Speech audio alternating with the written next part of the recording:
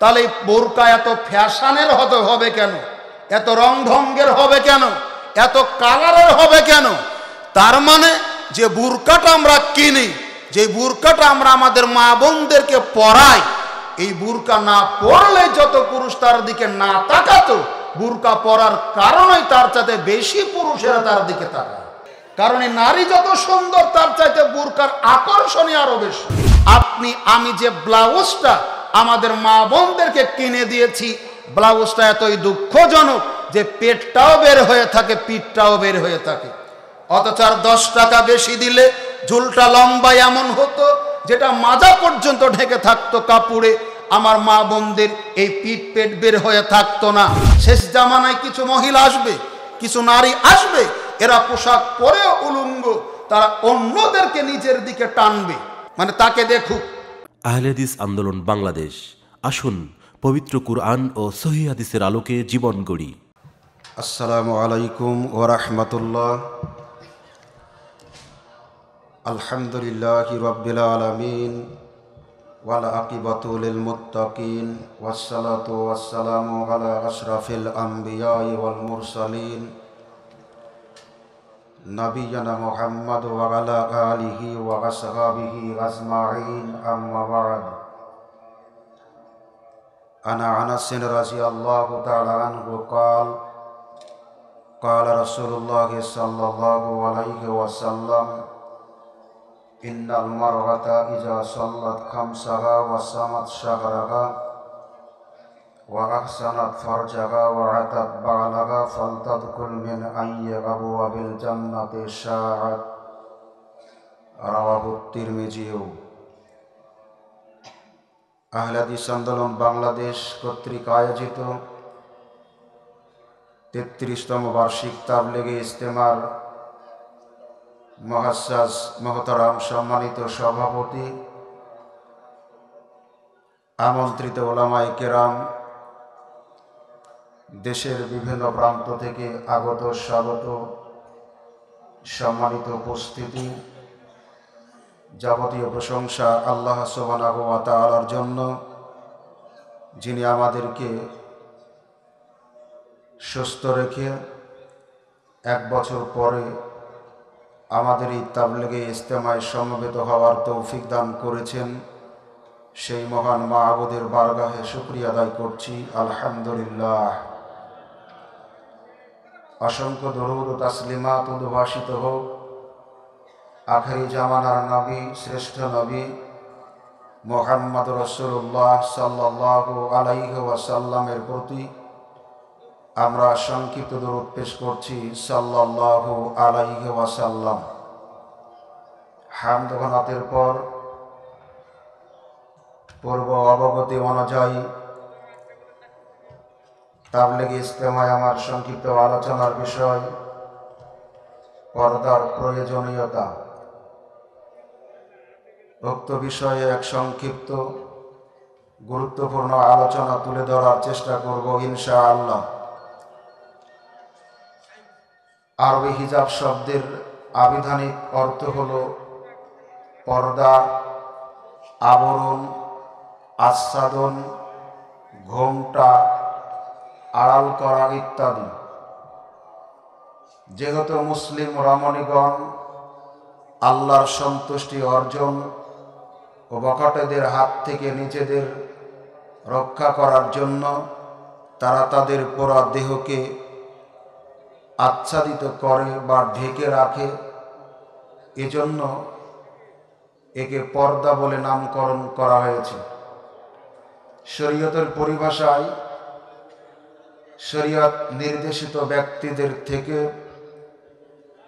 শরীয়ত সম্মত পন্থায় এবং সার এই পোশাক পরিধান করার মাধ্যমে নিজেকে আবৃত করার নাম হল হিজাব বা পর্দা।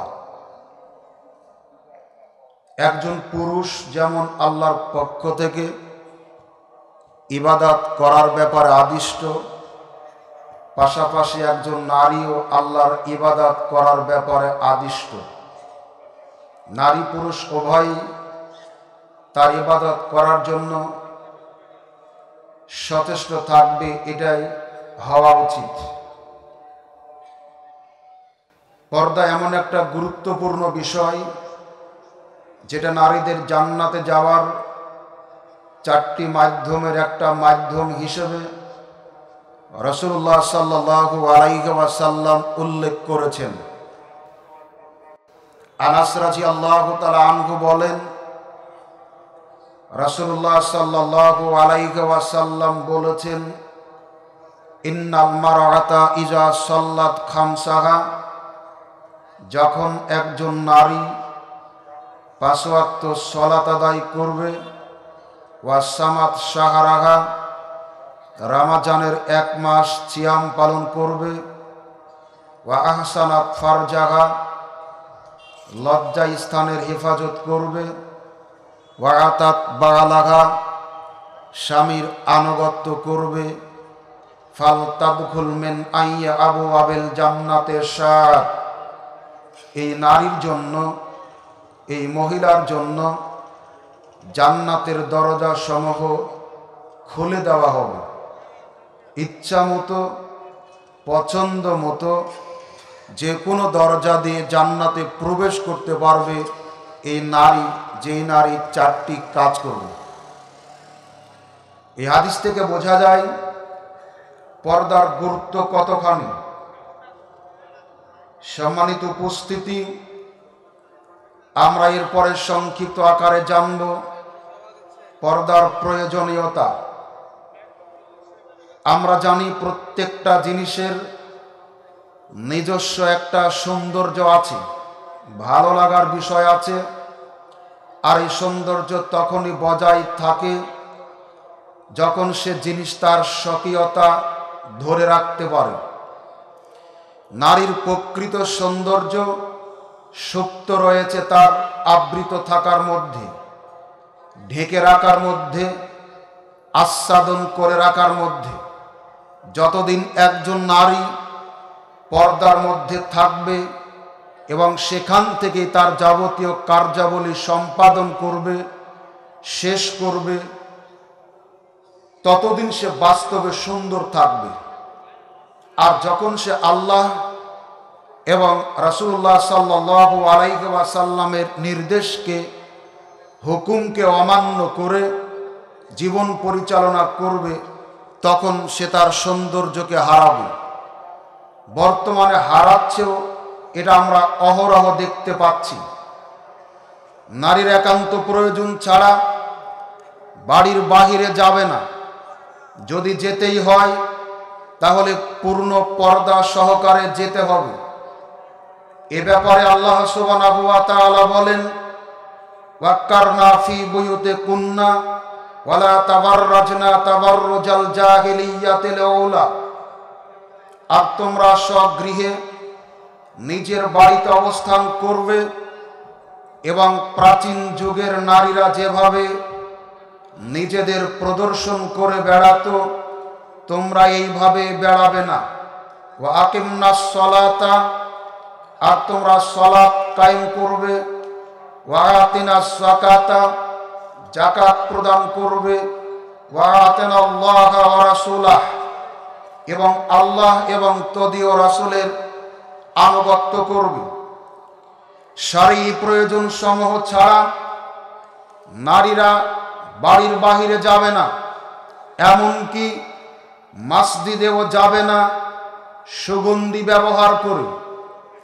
রাসুল্লাহ সাল্লু আলাইসাল্লাম বলেন তোমরা আল্লাহর বান্দিদেরকে, অর্থাৎ নারীদেরকে, মহিলাদেরকে মসজিদে যেতে বাধা দিও না।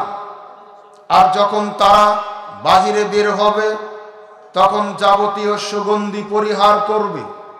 সারি প্রয়োজন বলতে আমরা যেটা বোঝাই, সেটা হলো দিনে এল অর্জন করার জন্য, সলাত আদায় করার জন্য মসজিদে যাওয়া। মসজিদে যাওয়ার ক্ষেত্রে নারীরা যদি সুগন্ধি ব্যবহার করে যেতে না পারে, তাহলে আমরা দেখি অহরহ মহিলারা সুগন্ধি ব্যবহার করে হাট বাজারে, কলকারখানায়, মেলা খেলায়, বিভিন্ন জায়গাতে চষে বেড়ায়, তাদের বিবেকে বাধা দেয় না। মাসজিদে যখন সুগন্ধি ব্যবহার করে যাওয়া থেকে নিষেধ করা হয়েছে, তাহলে বাহিরের অন্য জায়গাগুলিতে সুগন্ধি ব্যবহার করে যাওয়া আর কত কঠোরভাবে নিষেধ হতে পারে এটা সহজেই অনমিত।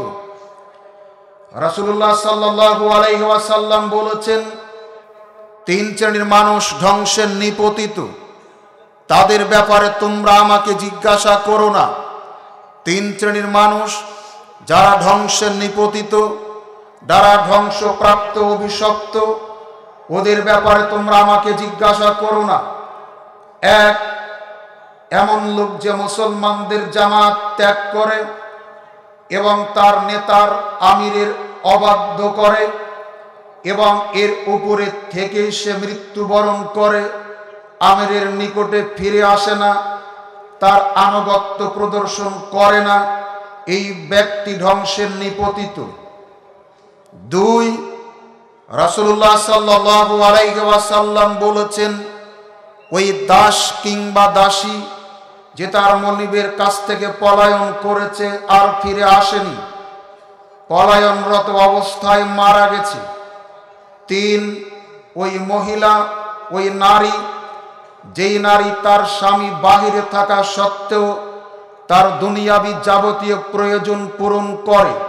অথচ এই নারী নিজেকে অন্যের সামনে প্রদর্শন করে বেড়ায়। এই তিন শ্রেণির মানুষের ধ্বংস সুনিশ্চিত। রসুল্লাহ সাল্লাহ আলাইসাল্লাম এমনটি বলেছেন। তাহলে বোঝা যাচ্ছে অভাবের কারণে মানুষ বেপর্দা হয় না। অভাবের কারণে একজন নারী নিজেকে অন্যের সামনে প্রদর্শন করে বেড়ায় না।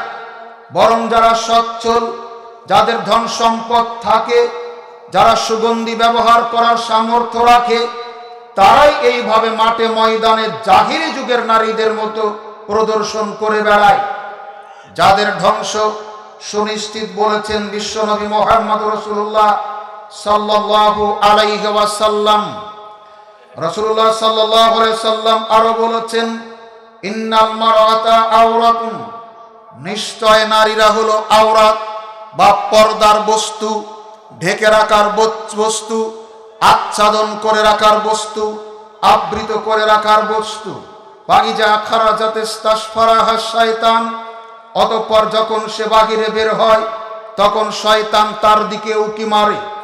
তাহলে শয়তানকে উকি মারার একটা ব্যবস্থা করে দেওয়ার মাধ্যম হলো নারীদেরকে বাহিরে পাঠানো।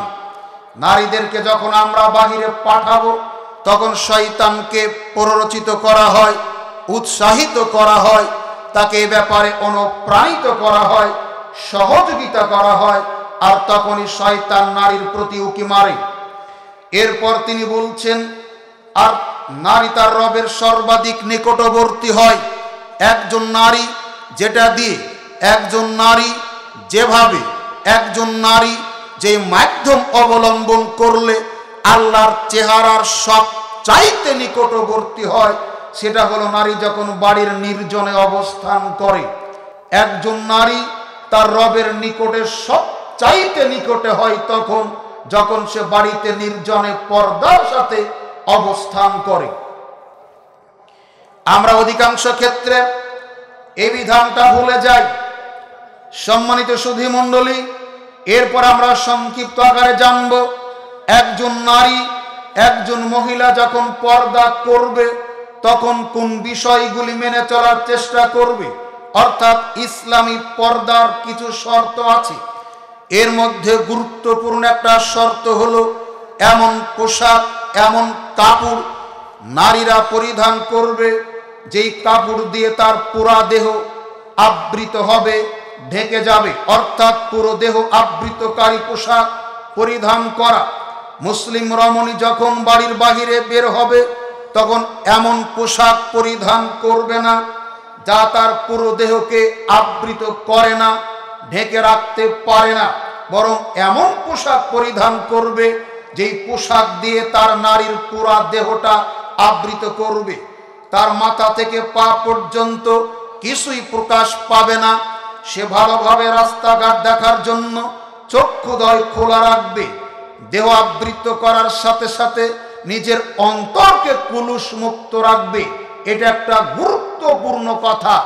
আমরা অনেক সময় অযাচিতভাবে দেখি, একজন মহিলা পর্দার সাথে আছে বলে মনে হয়, কারণ সে পর্দা করার জন্য বুরকা পরে আছে, মাথায় ওড়না দিয়ে আছে, অথচ এর নিচে টিপ ব্যবহার করে। মুখে নেকা পরে আছে অথচ এখানে লিপস্টিক ব্যবহার করে। তাহলে বোঝাতে চাচ্ছে এ যে পোশাকটা পরেছে, আসলে পর্দার জন্য, নিজের সম্ভ্রমকে রক্ষা করার জন্য, বখাটেদের হাত থেকে নিজের ইজ্জতকে রক্ষা করার জন্য এই পোশাকগুলি সে পরেনি, এ পরেছে ফ্যাশন হিসেবে। না হলে এখানে বলা হচ্ছে, একজন নারী পোশাক পরবে পাশাপাশি তার অন্তরকে হৃদয়কে কুলস মুক্ত রাখবে। একজন নারী যখন এরকম শালীন পোশাক পরবে, তারপর এই বস্তুগুলি পরিহার করবে না, তাহলে বোঝা যাচ্ছে তার অন্তরের ভিতরে ভেজাল আছে। না হলে যেখানে বরকা পরে আছে, নিকাব পরে আছে, এখানে লিপস্টিকই বা কেন, আর এখানে টিপি বা কেন থাকবে? অথবা দেখবেন একজন নারী বুরকা পরে আছে, মাথায় কিছু নেই উড়নাটা গলায় দুই দিকে ছেড়ে দিয়ে আছে তাকে বোঝা খুব মুশকিল কি জন্য বোরকাটা পড়েছে। এজন্য বাহ্যিক দিকে যেমন সতর্কতা অবলম্বন করা জরুরি, তার চাইতে বেশি জরুরি হলো তার অন্তরটাকে পরিষ্কার পরিচ্ছন্ন করা। আল্লাহ রাব্বুল আলামিন বলেন ওয়াকুল্লিল মুমিনাতে ইয়াকজুজনা মিন আবসারিহিন্না ওয়া ইয়াহফাজনা ফুরুজাহুন্না ওয়ালা ইউবদিনা জিনাতাহুন্না ইল্লা মা জাহারা মিনহা। আল্লাহ রাব্বুল আলামিন বলেন, আর মমিন নারীদেরকে বল, তারা যেন তাদের দৃষ্টিকে সংযত রাখে, নিচু রাখে, আর তাদের লজ্জাস্থানের হেফাজত করে, যারা তা, যা সাধারণত প্রকাশ পায়, যেটা ঢেকে রাখা, আবৃত্ত করা, যেটা আপনার একেবারে প্রকাশ না করা, নারীদের জন্য কঠিন এবং জটিল তাছাড়া যা কিছু আছে সাধ্যমতো তারা ঢেকে রাখবে। এরপরে বলা হচ্ছে, এমন সজরে সে পদক্ষেপ করবে না, ধাপ মারবে না, রাস্তায় চলবে না, পা তুলবে না যে দ্রুততার সাথে পা তোলার কারণে, পা ফেলার কারণে তার পায়ের কাপড় সরে গিয়ে পায়ে যে অলংকার পরে আছে, এটা যাতে দেখাও না যায়। তাহলে বোঝা যাচ্ছে পুরুষরা যেভাবে সজোরে পদক্ষেপ করে, পুরুষরা যেভাবে দ্রুততার সাথে চলে, নারীরা এইভাবে দ্রুততার সাথে চলতে পারবে না। সম্মানিত উপস্থিতি, আল্লাহ রাব্বুল আলামিনের পরে বলছেন, ইয়া আইয়ুহান নাবিয়্যু, কুল লিআজওয়াজিকা ওয়া বানাতিকা ওয়া নিসাইল মুমিনিনা ইউদনিনা আলাইহিন্না মিন জালাবিবিহিন্না। হে নবী, তুমি তোমার স্ত্রীগণ, কন্যাগণ এবং মমিন নারীদেরকে বলো, তারা যেন চাদরের কিছু অংশ নিজের উপর টেনে নেয়। যেই কথাটা একটু আগে বললাম, এখানে পড়ে আছে সাত, আট হাত একটা উড়না শুধু গলার সাথে পেঁচানো আছে, সবগুলি নিচের উপরে। আল্লাহ পদ্ধতি শিখিয়ে দিচ্ছেন, উড়না পরার পদ্ধতি, চাদর পরার পদ্ধতি, সেটা কি? মাথায় দিবে, এক অংশ আর বাকি অংশগুলি সে বুকের উপরে ছেড়ে দিয়ে আবৃত করবে। অথচ আমরা তার বিপরীত করি। এরপরে এই আয়াত যখন অবতীর্ণ হলো, আম্মা জান আয়েসারাজি আল্লাহ আনহা বলেন, শুরুর যুগের প্রথম যুগের হিজরতকারী, মহাজির রমণীদের প্রতি, মহাজির নারীদের প্রতি আল্লাহ রহম করুন, আমিন। যখন এই আয়াত নাজিল হলো, তখন তাদের এখনকার মতো এত ফ্যাশনের শয়তানি বোরকা ছিল না। শয়তানি বোরকা কেন বললাম? বুরকা যদি আপনি দুষ্টদের হাত থেকে বাঁচানোর জন্যই কেনেন, দুষ্টদের হাত থেকে নিজেকে বাঁচানোর জন্যই পরেন তাহলে এই বোরকা এত ফ্যাশনের হতে হবে কেন? এত রং ঢঙ্গের হবে কেন? এত কালারের হবে কেন? তার মানে যে বুরকাটা আমরা কিনি, যে বুরকাটা আমরা আমাদের মা বোনদেরকে পরাই এই বুরকা না পরলে যত পুরুষ তার দিকে না তাকাতো, বুরকা পরার কারণেই তার চাইতে বেশি পুরুষেরা তার দিকে তাকায়। কারণ এই নারী যত সুন্দর, তার চাইতে বুরকার আকর্ষণই আরও বেশি। বাতাস যদি একটু লাগে, উপরের পাট্টাটা এক কালার। এখানে যদি উড়ে যায়, ভিতরের পাট্টাটা আর এক কালার। মানে শয়তান হয়ে বরকাকে দেখে লজ্জা পায়। অতএব আপনি ঠিকঠাক বললেও হবে না। আমাদের দাওয়াতটা জাগ্রত জ্ঞান সহকারে। আপনি টাকা দিয়ে কিনেছেন, আবার আপনি ঠিক বলছেন এটা কেমন? এটা বুকামিরি পরিচয়। কেনার সময় সতর্ক থাকবেন, যাতে এরকম কোনো বরকা আপনার টাকাতে কিনে না হয়, টাকা আপনার। কিন্তু হাদিস শুনেছেন, আব্দুল্লাহ ইবনে মাসউদ রাদিয়াল্লাহু তাআলা আনহু বলেন, রাসূলুল্লাহ সাল্লাল্লাহু আলাইহি ওয়াসাল্লাম বলেছেন, কিয়ামতের দিন আল্লাহ সুবহানাহু ওয়া তাআলা প্রত্যেক আদম সন্তানকে পাঁচটি প্রশ্ন করবেন। এই পাঁচটি প্রশ্নের জবাব দেওয়ার আগে আমার আপনার কারও পক্ষেই সম্ভব হবে না সামনে এক কদম বাড়ানো। এই পাঁচটি প্রশ্নের একটা প্রশ্ন হলো, আদম সন্তান, তুমি তোমার উপার্জিত সম্পদ, উপার্জিত টাকা পয়সা কোন খাতে খরচ করেছিলে, কোন কাজে তুমি ব্যয় করেছিলে? এই আমরা সতর্ক থাকব। এই বিষয়টার ব্যাপারে এরপরে চলুন দ্বিতীয় যে শর্ত, কাপড়টা এমন হতে হবে যাতে মোটা হয় এবং পুরু হয়। প্রত্যেক রমণীর উচিত বাড়িতেই থাকুক আর বাহিরেই থাকুক, সর্বাবস্থায় মোটা এবং পুরা পোশাক পরিধান করা, যাতে তার দেহের কোনো অংশই প্রকাশ না পায়। কিন্তু দুঃখজনক হলেও সত্য, আমরা সমাজের বাস্তবতার বিপরীতটাই দেখতে পাই। আল্লাহ সুবহানাহু ওয়া তাআলা পোশাক কেন অবতীর্ণ করেছেন? পোশাক কেন নাজিল করেছেন? এর কারণ তিনি নিজেই বলছেন, হে বানি আদম, তোমাদের লজ্জাস্থান ঢাকার জন্য, বেশভূষার জন্য আমি তোমাদেরকে পোশাক দান করেছি। আল্লাহ নিজেই বলছেন, আমি পোশাক কেন দিয়েছি? এক নম্বর কারণ, তোমাদের লজ্জা স্থান ঢাকার জন্য। তাহলে পোশাক এমন হবে যে পোশাক দিয়ে একজন মানুষ তার লজ্জাস্থানকে ঢাকতে পারবে। যেই পোশাক পরে লজ্জাস্থান ঢাকে না, এই পোশাক পোশাকই নয়। দ্বিতীয় কারণ আল্লাহ নিজে বলছেন, এটা বেশভূষার জন্য। আপনি যখন খালি গায়ে থাকেন, খালি দেহে থাকেন, খালি মাথায় থাকেন, তখন যতখানি সুন্দর আপনাকে না দেখায়, আপনি যখন পোশাক পরে থাকেন, টুপি পরে থাকেন, আপনি যদি সুস্থ ব্রেনের মানুষ হন আপনি যদি আপনাকে কি বলি, কোন ভাষাতে বলি, আপনি যদি সুস্থ মানুষ হন, অবশ্যই আপনি বলতে বাধ্য হবেন। খালি গায়ে থাকার চাইতে পোশাক পরলে আপনাকে, আমাকে অনেকটাই সুন্দর দেখায়। একথা আল্লাহ বলেছেন যে, পোশাক তিনি অবতীর্ণ করেছেন। একটা হলো লজ্জায় স্থান ঢাকার জন্য আর একটা কারণ হলো বেশভূষার জন্য, আমাদের সৌন্দর্য বৃদ্ধির জন্য। পোশাক পরলে সৌন্দর্য বৃদ্ধি পায় টুপি পরলে সৌন্দর্য বৃদ্ধি পায়। যে সৌন্দর্যটা বৃদ্ধি পায় না, পোশাক না পরলে, টুপি না পরলে। এজন্য আমরা এই বিষয়টা খেয়াল করব। যে পোশাকটা আমি আপনি পরি, আমরা আমাদের মা বোনদেরকে পরাই, এটাতে তার লজ্জা স্থান ঢাকে না ঢাকে কিনা? কেন? আপনি, আমি যে ব্লাউজটা আমাদের মা বোনদেরকে কিনে দিয়েছি, ব্লাউজটা এতই দুঃখজনক যে পেটটাও বের হয়ে থাকে, পিঠটাও বের হয়ে থাকে। অথচ আর দশ টাকা বেশি দিলে ঝুলটা লম্বা এমন হতো, যেটা মাজা পর্যন্ত ঢেকে থাকতো কাপড়ে। আমার মা বোনদের এই পিঠ পেট বের হয়ে থাকতো না। আর দশ টাকা যদি বেশি দিতাম, হাতাটা কবজি পর্যন্ত হতো।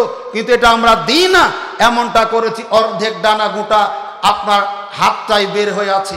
এখন তো গরমের মৌসুম, শীতটা মনে হয় আমি মনে করি আল্লাহর পক্ষ থেকে মুসলিমদের জন্য আশীর্বাদ করুণা স্বরূপ হিসেবে এসেছে।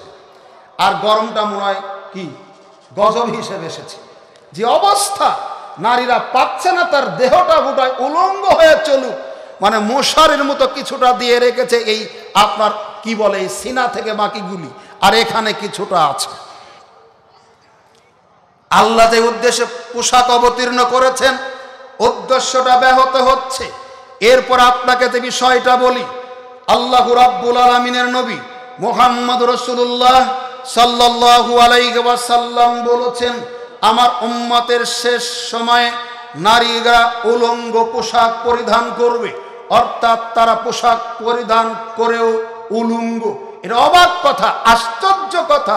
আপনার বিবেক বিরোধী কথা হলেও এটাই শরীয়তের বিধান। পোশাক পরেও নারীরা উলঙ্গ কীভাবে? পোশাকটা এমন পাতলা এমন আপনার আটো সাটো যা পরার চাইতে না পরায় অনেকাংশে ভালো। যদি আপনি না পরে ঘুরতেন, মানুষ আপনাকে পাগল মনে করত, আপনার দিকে কেউ দেখতো না। কিন্তু পোশাক পরে যখন আপনি অন্যকে নিজের দিকে আকর্ষণ করতে চাচ্ছেন, তখন আপনিও যেমন বিপদগামী হচ্ছেন, আরও পাঁচজনকে আপনি বিপদগামী করে ছাড়ছেন। এজন্য তিনি বলছেন, শেষ জামানায় কিছু মহিলা আসবে, কিছু নারী আসবে, এরা পোশাক পরেও উলঙ্গ তারা অন্যদেরকে নিজের দিকে টানবে। মানে তাকে দেখুক। সে একজন ভালো মহিলা, তাকে দেখুক। তার সুন্দর চেহারা। সেও যেমন নিজেকে অন্যের দিকে আকর্ষিত করবে, অন্যরাও তার প্রতি আকর্ষিত হবে। তার উদ্দেশ্যই তো এটা না হলে কেন এরকম করে? না হলে কেন এরকম পোশাক পরে?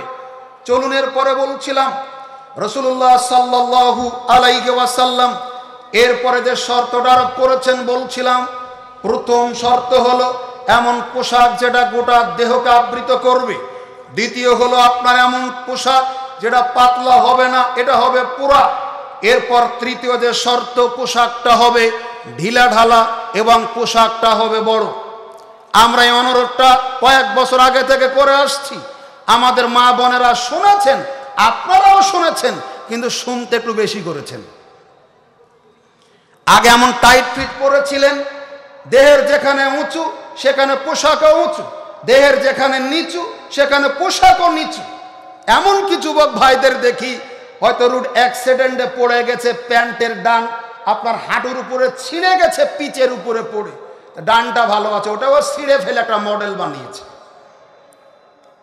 এই সিরাটাও একটা মডেল এখন থেকে দশ বছর আগে দেখবেন গ্রামাঞ্চলে আমরা দেখেছি আমাদের ছোট্টবেলাতে মানুষ জেনা করে, অবৈধ কর্ম করে যখন ধরা খাইত, তখন সমাজের সালিজ বিচারে তাকে অপমান অপদস্থ করে চুলগুলিকে এলোমেলো করে এবড়ো থেবড়ো করে কেটে দেওয়া হতো। চুনকালি দিয়ে, জুতার মালা দিয়ে, ঝাড়ুর মালা দিয়ে আপনার কালিযুক্ত মাটির হাঁড়ি তার গলায় ঝুলিয়ে দিয়ে গোটা গ্রাম ঘুরানো হতো আর তাকে দিয়ে বলানো হতো আমি অপকর্ম করেছি, এজন্য শাস্তি আমাকে দেওয়া হচ্ছে। আপনি লক্ষ্য করুন, যেই পিতা ছেলেকে শাস্তি দিয়েছেন, ওই পিতাও আজকে বেঁচে আছে। আর যেই ছেলে শাস্তি প্রাপ্ত হয়েছিল, সেই ছেলেও আজকে বেঁচে আছে। কিন্তু সমাজ থেকে এই সামাজিকতা, সমাজ থেকে সামাজিক এই অনুশাসনটা উঠে গেছে। শুধু তাই নয়, এখন থেকে দশ বছর আগে যে কাজটা জেনার শাস্তি ছিল ব্যবিচারের শাস্তি ছিল। এই ধরনের চুল কাটা এখন মডেলে পরিণত হয়েছে। দেখেন এই দিকে দুই তিনটা ভাঁজ এই দিকে দুই তিনটা ভাঁজ। বন্যার পানি যখন নদী থেকে নেমে যায়, তখন দেখবেন নদীর দুই ধারে বালুর একটা চর পড়ে। দেখবেন অনেকটা স্তর বিশিষ্ট। এই চুলগুলির কাটিং এরকম। যদি তাকে বলা হয়, তুমি এরকম কেন কেটেছ? বলছে, অমুক খেলোয়াড়ের মতো। বলছে, অমুক নায়কের মতো। ও জানে না ওই খেলোয়াড়, ওই নায়ক, হিন্দু না মুসলিম। ও জানে না ইহুদি না খ্রিস্টান। অথচ রসুল্লাহ সাল্লু আলাইসাল্লাম স্পষ্ট বলেছেন মান্তা সাব্বাহাবে কাউমেন ফাহু আমেন হুম যেই জাতি যেই জাতির সাদৃশ্য অবলম্বন করবে, পোশাকে, আশাকে, কথাতে, বাত্রাতে, চলনে, বলনে, কেয়ামতের দিন ওই ব্যক্তি ওই জাতির সাথেই উত্থিত হবে। আপনার হাসর নাসর যদি রবীন্দ্রনাথ ঠাকুরের সাথে হয় আপনার পরকালীন জীবনে জান্নাতে যাবেন, এটা আপনি ভাবেন কি? আপনার পরকাল যদি মেসির সাথে হয়, রোলান্দোর সাথে হয়, তাহলে আপনার পরকালে জান্নাতে যাবেন, এটা আপনি ভাবলেন কি করে? আমাদের উচিত ছিল আম্বিয়ায় কেরামের মতো চুল কাটা, আমাদের উচিত ছিল সাহাবাই আজমাইনের মতো আমাদের চুল কাটা, অথচ আমরা আদর্শ হিসেবে গ্রহণ করেছি ইহুদি আর খ্রিস্টানদেরকে। সম্মানিত উপস্থিতি, এজন্য বলছিলাম, তৃতীয় যে শর্ত এটা হলো পোশাক তেমন হবে, যেটা হবে ঢিলা ঢালা, তবে ঢিলা ঢালার নামে এমনটা হবে না, যেটা আমার বিপরীত। এ বিষয়ে খেয়াল থাকবেন মধ্যম পন্থ অবলম্বন করবেন, পোশাকটা ঢিলে ঢালা হয়, মার্জিত। চতুর্দেদের শর্ত, সেটা হলো নারী পুরুষের পোশাক পরবে না, পুরুষরাও নারীদের পোশাক পরবে না। প্রত্যেকটা সৃষ্টির স্বতন্ত্র একটা বৈশিষ্ট্য আছে, নারী চলবে নারীর মতো পুরুষ চলবে পুরুষের মতো, নারীর পোশাক হবে আলাদা, পুরুষের পোশাক হবে আলাদা, না হলে কি হবে? রসুল্লাহ সাল্লাহু আলাইসাল্লাম বলেছেন, আল্লাহ তাআলা ওই নারীর প্রতি অভিশাপ করেছেন, লানাত করেছেন, গজব কামনা করেছেন, যেই পুরুষ নারীর পোশাক পরে আর যেই নারী পুরুষের পোশাক পরে। পুরুষের পোশাক পরার ব্যাপারে একটা মৌলিক নীতি হলো পুরুষ তার পরিধানের প্যান্ট, পাজামা, লুক, লুঙ্গি, ট্রাউজার এগুলো পরবে, টাকনুর উপরে, আর নারী পরবে টাকনুর নিচ পর্যন্ত। কেন? আবু জার্রাজি আল্লাহ তালানহু বলেন রসুল্লাহ সাল্লাল্লাহু আলাইহি ওয়াসাল্লাম বলেছেন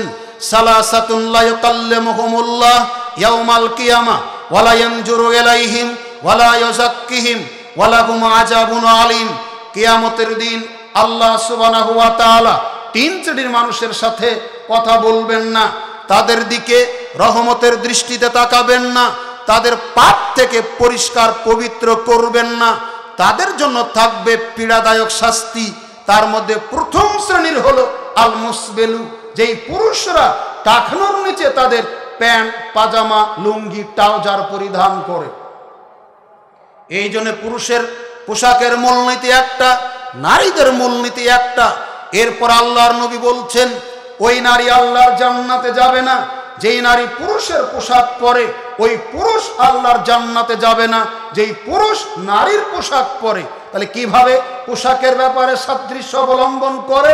এই মাধ্যমটা হলো, যখন একজন নারী তার পরিধানের পোশাকগুলি টাকনোর উপরে পড়ে, এটাই হলো পুরুষের সাদৃশ্য অবলম্বন করা। আর একজন পুরুষ যখন তার প্যান্ট, পাজামা, লুঙ্গি, ট্রাউজার, টাকনোর নিচ পর্যন্ত পড়ে এটাই হলো পুরুষের নারীর সাদৃশ্য অবলম্বন করা। তাহাজ্জত পড়ে, হজ, উমরা করে, আপনি জাহান নাম ঠেকাতে পারবেন না। এই পোশাক পরিধানের পদ্ধতি আপনাকে জাহান নামে নিক্ষেপ করবে। অতএব আমাদের উচিত হবে নারীদের পুরুষের মতো পোশাক পরিধান না করা আর পুরুষদের নারীর মতো পোশাক পরিধান না করা। আপনাকে বলছিলাম, এর পরের যে শর্ত সেটা হলো, নারী যখন বাহিরে বের হবে, তখন সুগন্ধি মেখে বের হবে না। আবহরাইরা রাজি আল্লাহ তালানহু বলেন, তিনি একদা বসেছিলেন, একজন নারীর নারী যাচ্ছিল তার সামনে দিয়ে, তার থেকে প্রকট সুগন্ধি তিনি পাচ্ছিলেন। নারীকে ডেকে জিজ্ঞাসা করলেন, তুমি কোথায় যাবে মাসজিদে কেন? সালাত আদায় করতে? তুমি মাসজিদে যাবে সালাত আদায় করতে, এজন্য কি সুগন্ধি ব্যবহার করেছ? মহিলা বলছে হ্যাঁ। তখন তিনি বলছেন, তুমি ফিরে বাড়িতে যাও, গোসল করো। একজন মানুষ নাপাক হলে পবিত্র হওয়ার জন্য, একজন মানুষ অপবিত্র হলে পবিত্র হওয়ার জন্য যেই পদ্ধতিতে গোসল করে, ওইভাবে তুমি গোসল করো। কত বড় অপরাধ, সহজে বোঝা যায়।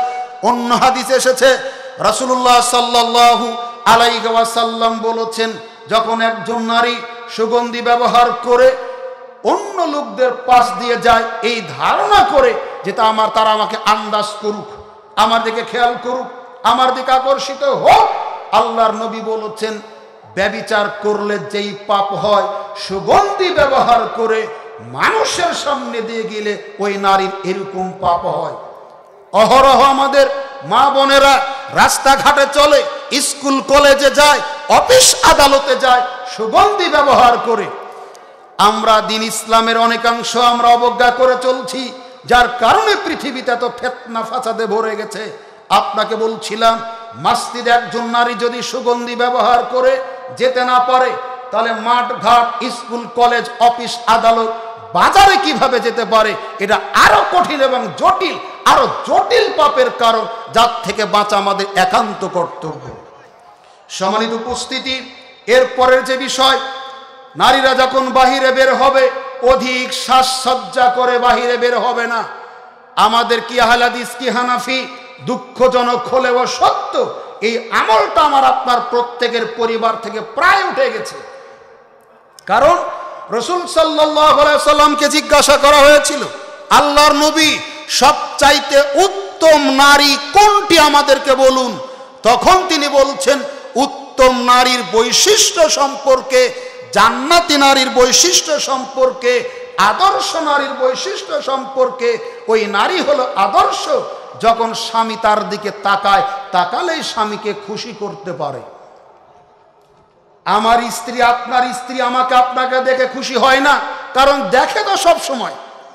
বরং খুশি হয় ওর দুলা ভাইকে দেখলে, খুশি হয় আমার দুলা ভাইকে দেখলে, খুশি হয় ওই বয়ফ্রেন্ডকে দেখলে, কারণ ওদের দেখা মাঝে মধ্যে হয়। আমাকে আপনাকে সব সময় দেখে। অথচ আল্লাহর নবী বলছেন, যে নারীর দিকে তার স্বামী তাকালে স্বামীকে খুশি করতে পারে। যেমন কীভাবে হতে পারে, আপনি মাঠঘাটে পরিশ্রম করেন, অফিস আদালতে চাকুরি করেন, মিল ফ্যাক্টরিতে কাজ করেন, আট, নয়, দশ ঘণ্টার ক্লান্তি, পেরেশানি, পরিশ্রমী শরীর নিয়ে বাড়িতে যখন ফিরে আসেন, ছেলের নাম ধরে তাকে ডাক দেন।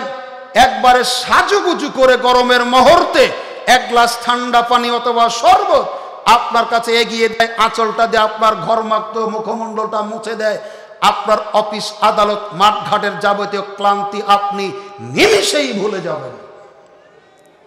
কিন্তু না, কষ্ট করে সুনু পাউডার, ফেস ওয়াশ কিনে দিয়ে মরেন আপনি আর মজা মারে রাস্তার পর পুরুষেরা যত সাজুগুজু করে, এই ভ্যান চালেরা দেখে মজা পায়, রিক্সা চালক দেখে মজা মারে আপনি তো কষ্ট করে কিনে দেন। আপনাকে দেখে আমার মা চাচি বোনেরা কোনোদিন এত সাজুগুজু করে না। বলেন কেউ না। যত এলো যত এলোপাতাড়ি ভাবে থাকা, নোংরা পোশাকে থাকা, সব সময় বাড়িতে ভাবে থাকে। কিন্তু রসুল সাল্লাহ সাল্লাম বললেন কি, একজন স্বামীকে যেই স্ত্রী তার দিকে তাকালেই খুশি করতে পারে, এই নারী হলো উত্তম। ইসলাম নারীকে সাজুগুজু করতে নিষেধ করেনি, সাজতে নিষেধ করেনি কিন্তু যাবতীয় সাজুগুজু হবে বাড়ির ভিতরে তার স্বামীর জন্য, রাস্তার পর পুরুষের জন্য নয়। কিন্তু বিপরীত পরিবেশটা সমাজে যত সাজুগুজু, রাস্তার পর পুরুষের জন্য, স্বামীর জন্য নয়। আমরা যতদিন আমাদের চারিত্রিক এই দিকটা স্বচ্ছ করতে না পারব, পরিষ্কার করতে না পারব, মূল্যায়ন করতে না পারব, ততদিন আমাদের পর্দা একশো পার্সেন্ট হবে না। এজন্য আমাদের উচিত, আমাদের মহিলারা যখন বাড়ির বাহিরে বের হবে, অধিক সাজসজ্জা করে বাহিরে বের হবে না। এরপরের যে বিষয়টা, একজন মহিলা, একজন নারী, তার নিজের সম্ভ্রম, নিজের ইজ্জত, নিজের ইমান বাঁচানোর জন্য কি কি পদক্ষেপ গ্রহণ করবে? এক, যখন বাড়ির বাহিরে যাবে, তখন একাকি বের হবে না। রসুল্লাহ সাল্লু আলাইসাল্লামকে একজন সাহাবি বললেন, আল্লাহর নবী, আমি আপনার সাথে জিহাদে যাওয়ার নিয়াদ করেছি আর আমার স্ত্রী হজে যাবে। আমি কি করব? আমার পরিকল্পনাটা কি ঠিক আছে? তখন আল্লাহর নবী বলছেন, আমার সাথে তুমি জিহাদে যেও না, তুমি তোমার স্ত্রীর সাথে হজের সফরে যাও। হজ একটা ইবাদত, ইসলামের পাঁচটি স্তম্ভের মধ্যে গুরুত্বপূর্ণ একটা স্তম্ভ হলো হজ। একজন মহিলা মাহারাম ছাড়া যদি হজে যেতে না পারে, তাহলে বাহিরে একাকি কীভাবে যেতে পারে? এজন একজন মহিলা যখন বাহিরে বের হবে, তখন একাকি বের হবে না। দ্বিতীয় যে বিষয়, নির্জনে কোনো পুরুষের সাথে সাক্ষাৎ করবে না। এটা একটা মরণ ব্যাধির মতো সমাজে কাজ করছে। সবচাইতে বেশি ভূমিকা পালন করে মোবাইল ফোন, স্কুল, কলেজে। আমার আপনার ছেলে মেয়ে, আমার আপনার বোন, ক্লাস ফাঁকি দিয়ে স্কুলে যাবে বলে বের হয়ে যায়, কলেজ ইউনিভার্সিটিতে যাবে বলে বের হয়ে যায়, বেমালুম পার্কে সময় কাটায়, বিভিন্ন আস্তানায় সময় কাটায়, বিভিন্ন জায়গাতে তারা অশ্লীলতায় লিপ্ত হয়। এজন্য আপনি একজন সচেতন অভিভাবক হিসেবে প্রতিষ্ঠানের শিক্ষকদের সাথে যোগাযোগ রাখুন। আপনার ছেলে, আপনার মেয়ে নিয়মিত ক্লাসে যায় কিনা, রাত্রে কোথায় থাকে, কোথায় বেড়ায়, এর খোঁজ খবর নিন। এরপরের যে বিষয়টা যখন একজন মহিলা কথা বলবে পুরুষের সাথে, তখন পর্দার আড়াল থেকে কথা বলবে, সরাসরি কথা বলবে না। সম্মানিত সুধীমণ্ডলী এরপরের যে বিষয়, দেবর এবং ভসুর জাতীয় পুরুষ থেকে তারা বেশি সতর্ক থাকবে। কিন্তু সমাজে একটা প্রবাদ চালু আছে। মহিলাদের মুখে মুখে শোনা যায় যে, ভাসুরের সাথে কথা বলা যায় না, দেবরের সাথে সব চলে। গ্রাম্য একটা ভাষা। মানে ওরা বুঝে না। কেন? দেব ভাসুর হলো বড় ভাই তুল্য, আর দেবর হলো ছোট ভাই তুলে যেন সম্মান করে বড় ভাইকে, আর ছোট ভাইকে নিয়ে পালিয়ে যায়। রসুল্লাহ সাল্লাহ সাল্লামকে জিজ্ঞাসা করা হলো, আল্লাহর নবী দেবর ভাসুর সম্পর্কে কিছু বলুন। তখন তিনি বললেন মরম যেমন দেবর তেমন। দেবর কার মতো? দেবর কার মতো? মরণের মতো। মরণকে কি কোনো মানুষ পছন্দ করে? মরণ যেমন সুযোগ পেলে সময় হলে সুবল মেরে তার যান কব্জ করতে ছাড়ে না। লম্পট দেহ, তেমন তার ভাবির ইজ্জত সুযোগ পেলে লুটে নেবে কোনো সন্দেহ নেই। আমরা এটাতেই বেশি জড়িয়ে পড়েছি। বহু দেখা যায়, বড় ভাই বিদেশে আছে, তার স্ত্রীর অ্যাকাউন্টে টাকা পাঠায় ডিসকভার পালচার গাড়ি কিনে দিয়েছে, চব্বিশ ঘন্টায় হোম ডেলিভারি দেয় তার আপনার দেবর ভাবি কেনে। এক সময় পাঁচ, ছয় লক্ষ টাকা যখন অ্যাকাউন্টে জমা হয়, দেবর কেনে ভাবি উদাহ অহরহ হচ্ছে। এটা হতে হতে বাধ্য। আল্লাহর অভিশাপ, রসুলের অভিশাপ, ইসলামের বিধান লঙ্ঘন করার ফসল এটাই অন্য কিছু হতে পারে না। আপনাকে বলছিলাম, একজন মহিলা যখন গায়ের মাহারামের সাথে কথা বলবে, নরম ভাষাতে কথা বলবে না রসুল্লাহ সাল্লাহু আলাইসাল্লাম বলেছেন আল্লাহ সুবানাহু তালা বলেন, নারীরা যখন অন্য পুরুষের সাথে কথা বলবে, তখন তারা নরম সুরে কথা বলবে না। আমরা কি করি? মোবাইল ফোনটা রিসিভ করে এমন ভঙ্গিতে কথা বলি, যতই মাস্টার, ডাক্তার, হুজুর হোক না কেন, আর ইমান নষ্ট করেই শেষ। এদের সাথে কর্কশ ভাষাতে কথা বলবে। কে বলছে? মোবাইল আলা নেই পরে ফোন দিন যাতে পুরুষরা বুঝতে পারে, মহিলা তো আর চার ফোন দেওয়া যাবে না। আর যদি আপনি এখানে দুর্বল হন, এই দুর্বলতার সুযোগে আপনার ভিতরে যদি কিছুটা ব্যাধি থাকে, আরও বাড়িয়ে দিলেন এটা আল্লাহ বলেছেন। তোমাদের কণ্ঠের আওয়াজ যদি নরম হয়, সুরেলা হয়, তাহলে ওর অন্তরে যদি ব্যাধি থাকে, তাহলে তুমি নরম সুরটা দিয়ে তার ব্যাধিকে আরও বৃদ্ধি করে দিলে।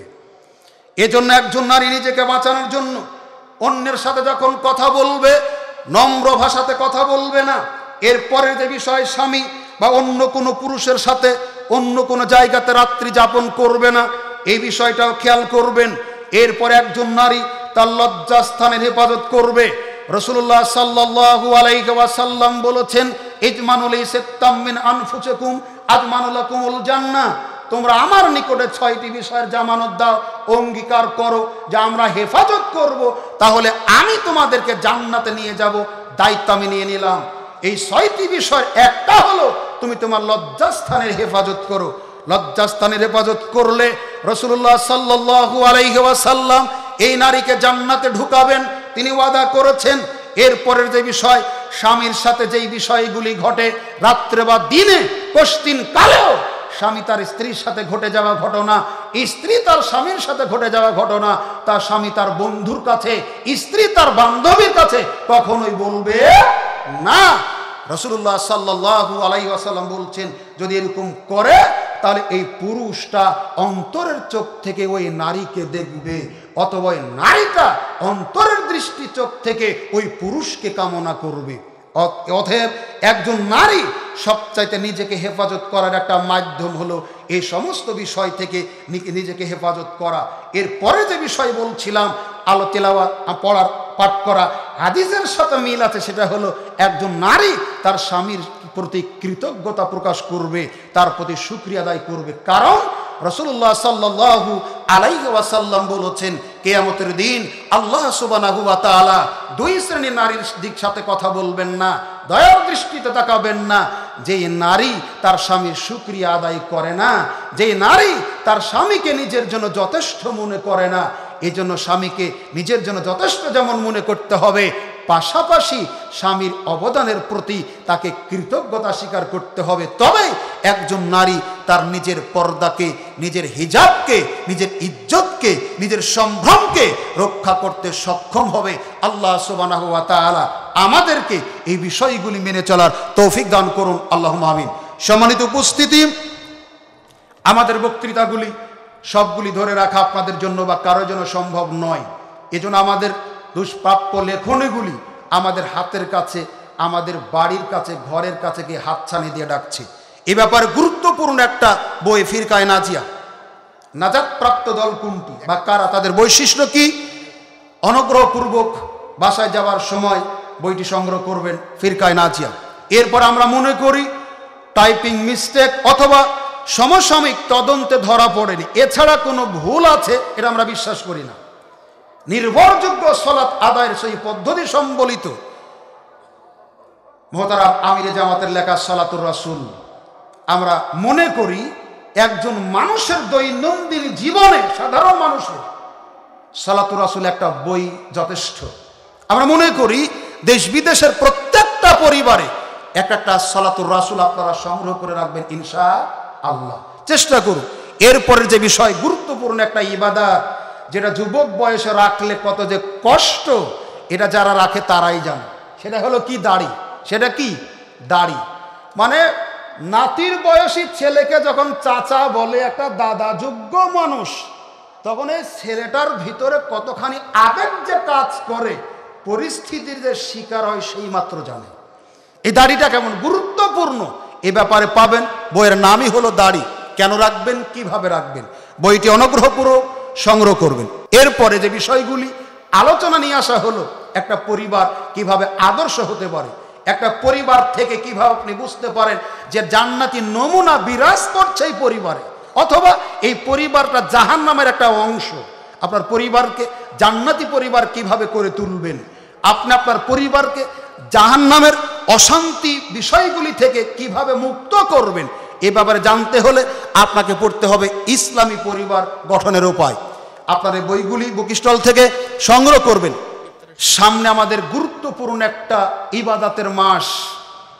যেই মাসে তিনোটি ইবাদাত একাত্রিত মানে সংমিশ্রণ করা হয়েছে। এক, রামাদানের ছিয়াম। দুই, তারাবির সলা তিন, লাইলাতুল কদর। দেশের ক্ষমতা অনুযায়ী এক এক দল সূর্যকে এক এক সময় ডুবায়।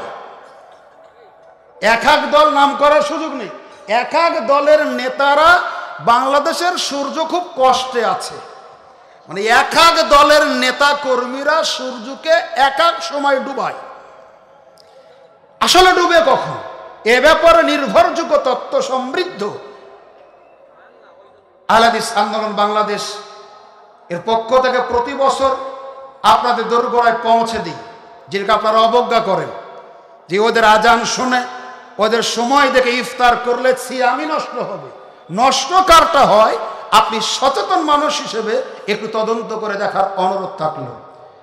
এই সময়টা সঠিক করার জন্য, সঠিক সময় ইফতার করার জন্য সাহারি ইফতারের সময় শুধু তোহফায় রামাজান। আপনারা দেখবেন, মার্চ দু হাজার তেইশ এই সংখ্যায় শেষ পৃষ্ঠাতে বের হয়েছে। আপনারা সংগ্রহ করে সঠিক সময় ইফতার করার চেষ্টা করবেন। আল্লাহ আমাদের সে তৌফিক দান করুন। আমি অবশেষে সংগঠনের জন্য দোয়া করে আল্লাহ যেন আমাদের সার্বিক প্রচেষ্টাকে কবুল করেন। পাশাপাশি জেনে একদিকে খুশিও যেমন হচ্ছি, অন্য বিষয়গুলি দেখে একটু খারাপও লাগছে। প্রাণ খুলে আল্লাহর কাছে দোয়া করবেন, যাতে আল্লাহ সুবানা হুয়া তালা মহতারাম আমিরে জামাতের হায়াতে বরকত দান করেন। অসমাপ্ত কাজগুলি তার মনের কামনা বাসনাগুলি তিনি যেন দেখে যেতে পারেন, আল্লাহ সুবানা হুয়া তালা তাকে কবুল আর মঞ্জুর যাতে করেন আল্লাহ মহামিন তার নিকটে আশাবাদ ব্যক্ত করে আজকের আলোচনা এখানে শেষ করছি। আসসালামু আলাইকুম ওরহমতুল্লাহ